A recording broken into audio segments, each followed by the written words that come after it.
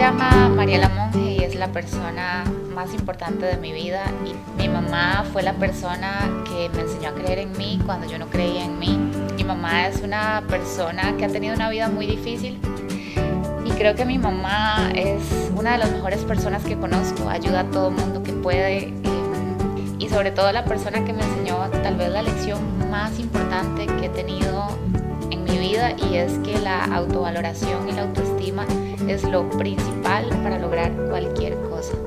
Necesita cosas chivas, eh, glamurosas, pero también que sean versátiles, que sean cómodas. Entonces es básicamente lo que ando buscando para ella porque sin duda en este día creo que se merece lo mejor.